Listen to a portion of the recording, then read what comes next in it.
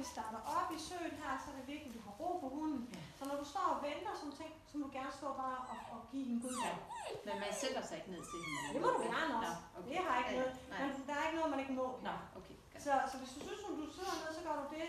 Og, og stil, og du står bare, bare fodret igen.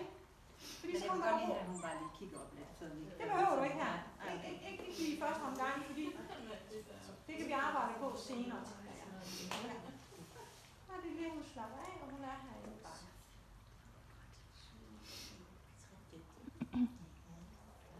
Og imens du står og bliver ved med det, så prøver jeg at se, om du kan multitaske. Kan du det, Susanne? Ja, det tror jeg. Jeg har tre, øh, hvad hedder det, kurve her. Og jeg vil putte øh, lidt i, i de kurve her, og det du har her, en godbid i hver. Og øh, hun vil kigge hen på det, øh, når jeg gør det lidt klar, for jeg vil rejse lidt med det og sådan ting. Og hun må gerne kigge. Ja. Og det hun så, men hun må ikke have så langt snor, hun kommer hen til det. Nej. Men hun må gerne kigge hen og sådan ting, og når du synes, at der er ro på hende, ja, når hun bliver sådan ting, og hun Ja. kigger sådan ting, så skal du beslutte dig for, om det skal hedde søg, eller finde, eller...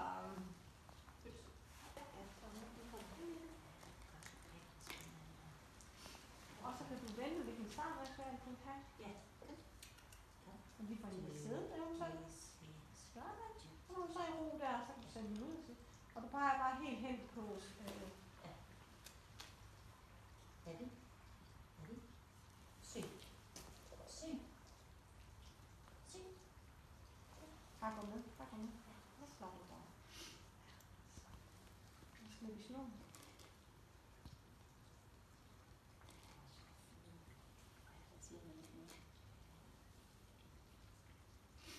Og når hun er færdig så belønner hende til dygtig. Og så får hun en masse belønninger. Det var Ja, så fint. Ah, hvor er du dygtig. Det er Og så.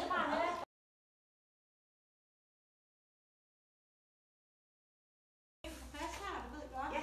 Og så når du har søg, og så bliver du egentlig bare passiv, tænker jeg. Ja. Fordi der reagerer hun faktisk rigtig fint på, når du tager søg. Og så når du siger søg, så sker der ikke noget. Men Nej. du bliver passiv, så Nå, du- så får hun... Ja, Ja. det kan jeg godt se. Jeg skal bare lade mig sige det flere gange. Ja. Ja, Så, og så en lille smule tættere på, og så kan du sige søg, og så går du bare op og bliver passiv. Ja. Tænker jeg. Fordi det, det, det, det, Se. og så ret op.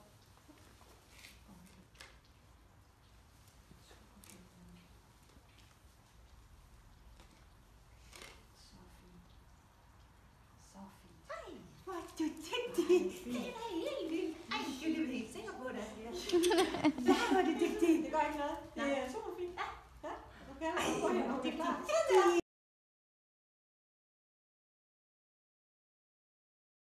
Dygtig. Så nu har jeg puttet lidt flere kasser på, Susanne. Mm. Og stadig en lille smule afstand imellem dem. Og så ser vi lige, hvad hun siger til det her.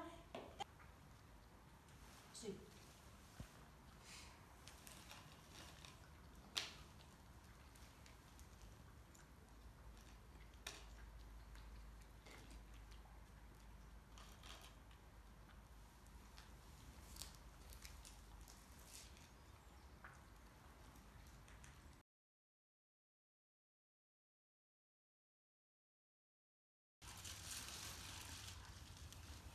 Og så tager jeg nogle af vores øh, kasser, som, øh, som hun kender, med ind i søen her. Ja. Så det ikke er helt nyt det hele.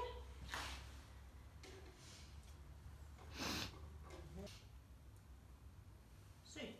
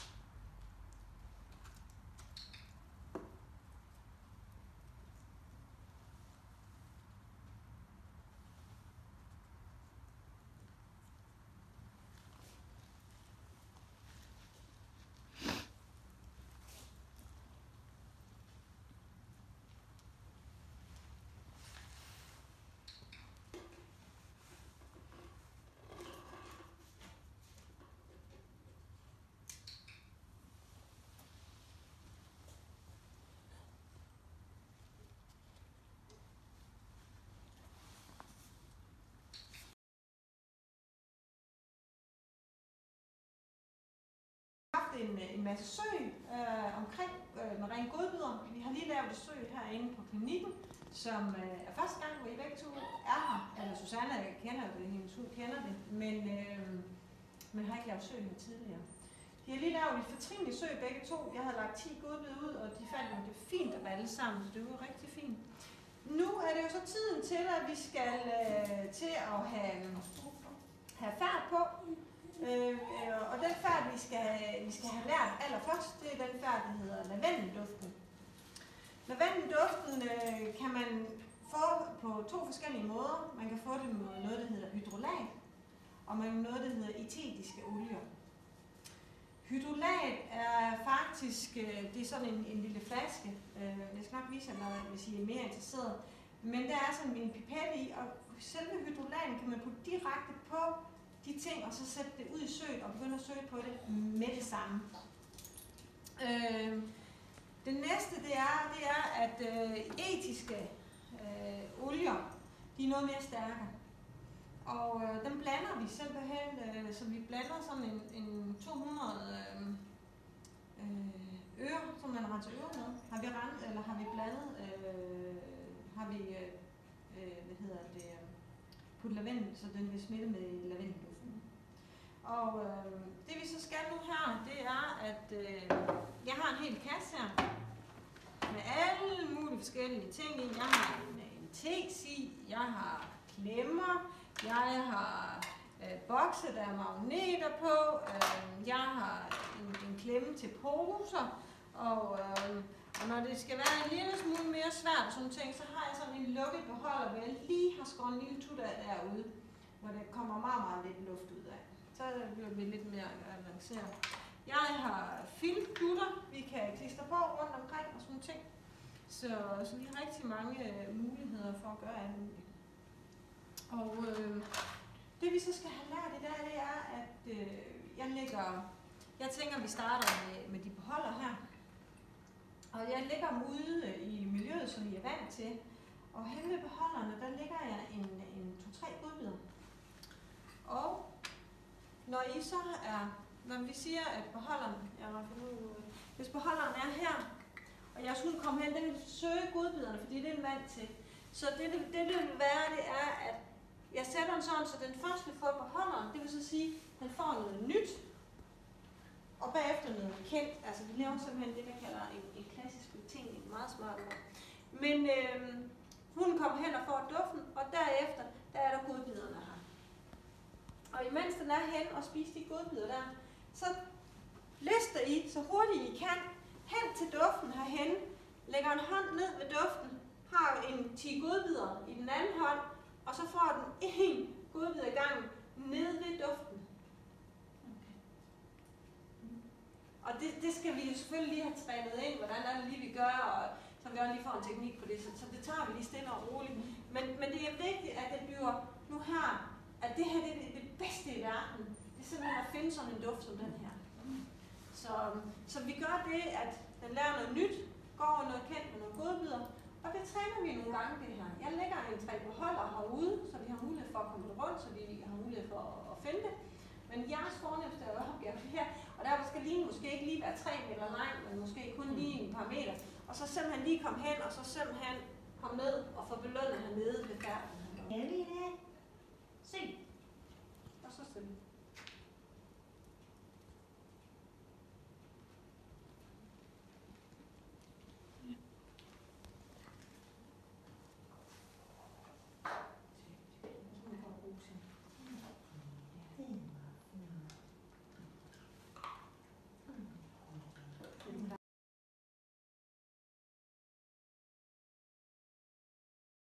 Nu har vi lavet, vi gentager det søg, vi havde før. Vi har de fire samme gemmesteder.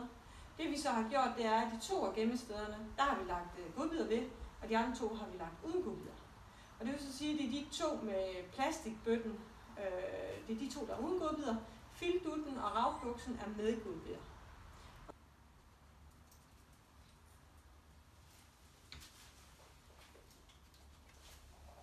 Ja, ja, godt.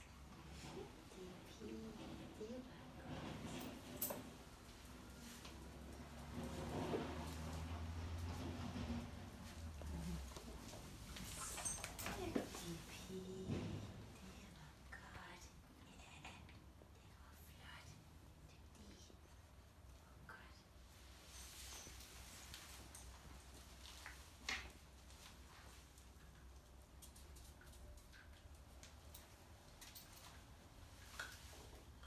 stor hund.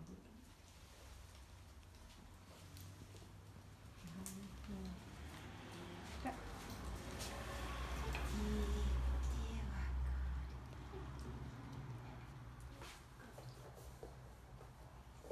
Så fint, Susanne.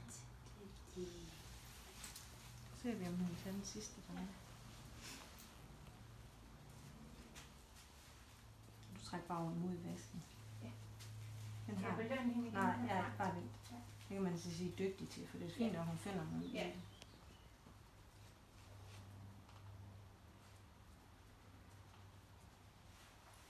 Ja. Ej, hvor er det godt. Det Ja, var så flot. flot. Jamen.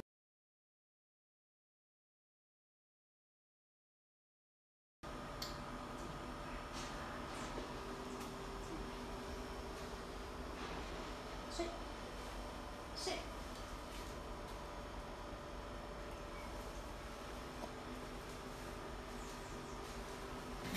Det.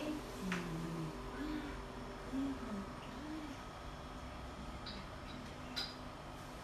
Det